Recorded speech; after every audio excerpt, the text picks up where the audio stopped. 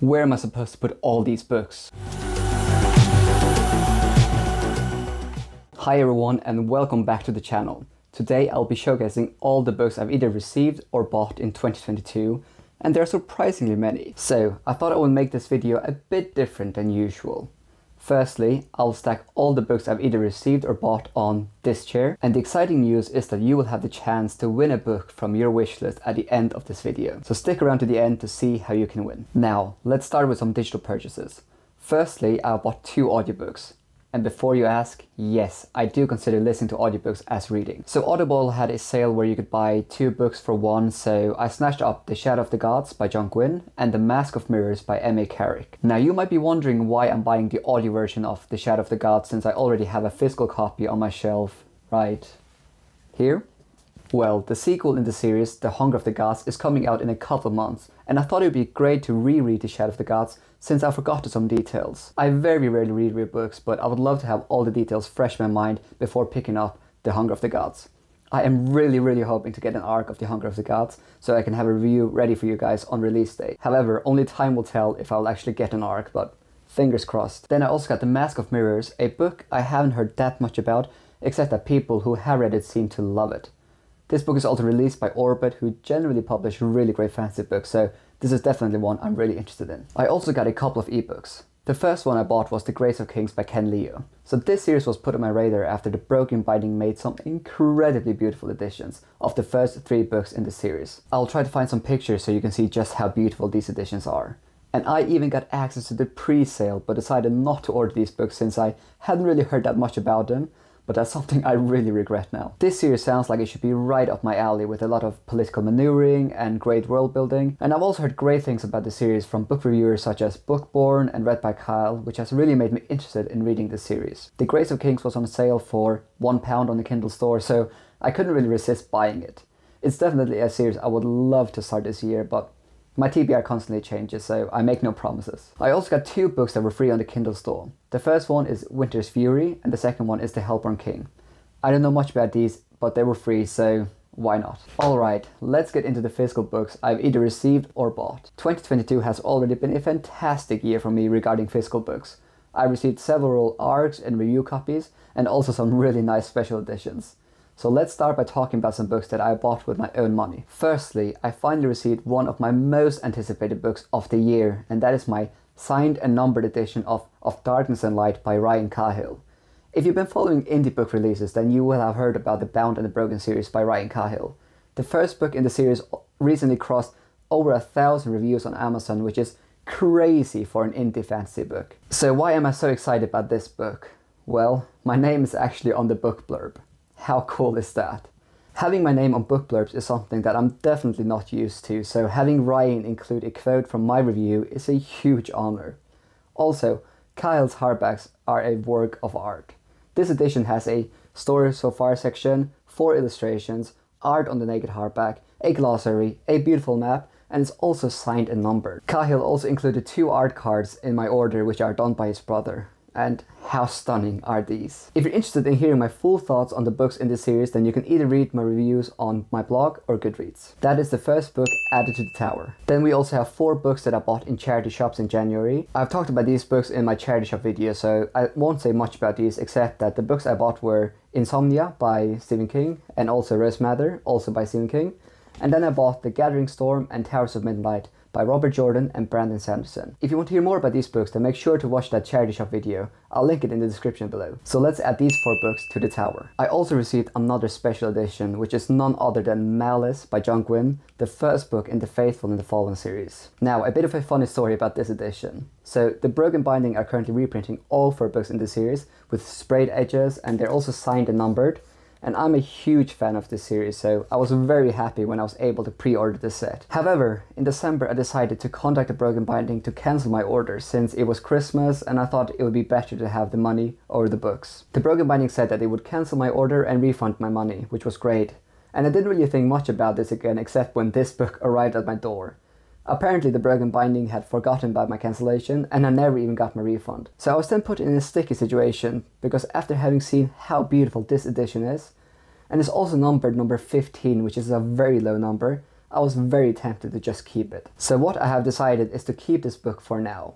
If my mind changes, then I can always resell the whole set when it arrives, and I'll probably get my money back. I also kind of want to reread this whole series now that I have this beautiful edition. What do you think? Am I making a mistake keeping this edition? There's one more book added to the tower and it's already getting a bit unstable. Lastly, I bought three books in the Broken Binding January sale.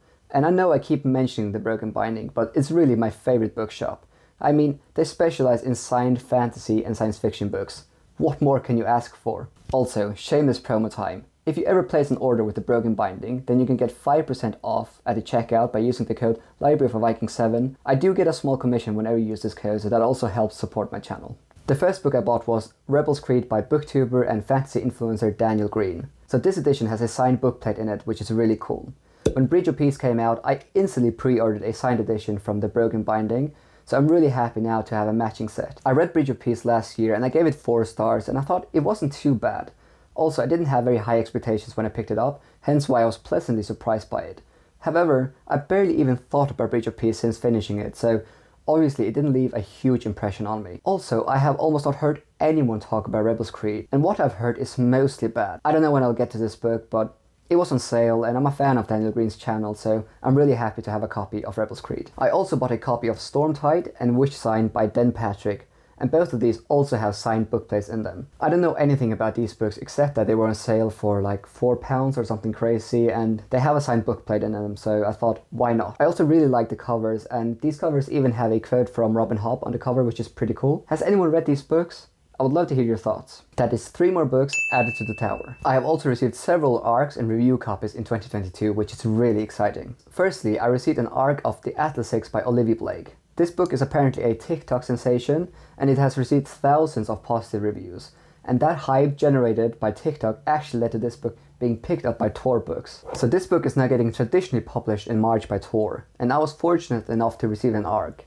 I know there was a lot of people trying to get an ARC of this book, so I'm very thankful to Tor Books that they actually sent me a copy of this one. I don't know much about this book except that it sounds like a dark academia slash Hunger Game-esque book. I'm really intrigued to see what the hype's about, so I'll be reading this one very soon. Orbit Books also contacted me and asked if I was interested in reading and reviewing Daniel Abraham's upcoming book, Age of Ash. So Abraham's books have been on my TBR for a while now, so I was very excited when Orbit reached out to me. I have all of Abraham's books on my TBR, but I haven't gotten around to reading any of them, so this finally gave me an excuse to read one of his books. Age of Ash is the first book in a new trilogy, and I've actually already read this one, but I haven't written my reviews, so I won't say much about it, except that it's a really intriguing read. I also received an arc of Under the Fortunate Stars by Ren Hutchings.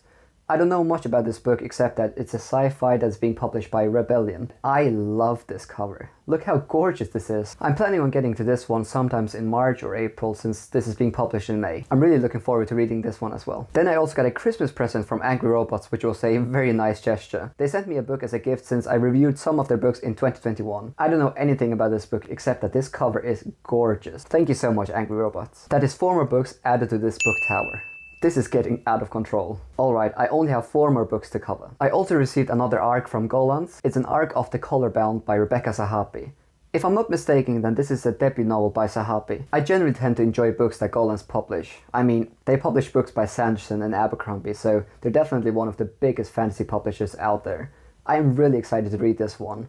Just look how gorgeous this cover is. I also received three indie books. Last year I tried to read and review one indie book per month, which led me to discovering some amazing books, so I'll try to do that again in 2022. The first one I received was a signed paperback of The Blood of the Spear by Mark Timmony and he also sent me some really cool stickers. So this book was an SPFBO semi-finalist, which was one of the main reasons why I was interested in picking this one up. I've also read this one, but I still need to write my review, so I won't say much about it just yet. I also got a hardback copy of Cold from the North by D.V. Ross.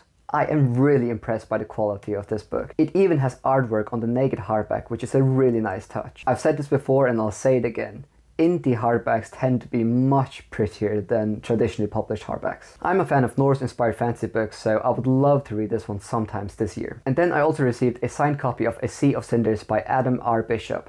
It's book one in the Voice of Quarter series, and Adam even sent me a handwritten letter, which is a really nice gesture. I actually told Adam that I wouldn't be able to read and review this book when he contacted me, since my TBR is out of control but he wanted to send it anyway. Hopefully I'll get to it, but I can't make any promises. A special thanks to Mark, Ross and Adam for sending me these books. I really appreciate it. And those are the last books added to the tower. I now have a book tower with a total of 17 books I think, and I did mention a giveaway didn't I? If you're able to guess the height of this tower in centimeters, then I will buy you a book from your wish list as long as Book Depository ships to your location. If more than one person guesses the correct height in centimeters, then the person that guessed it correctly first will win, and you can only enter once. So leave a comment down below how high you think this tower is in centimeters, and make sure to subscribe. Good luck. So what do you think about the books I received? Have you read any of these? Are any of these books on your TBR? Thank you so much for watching and thank you so much for your support. I really appreciate it.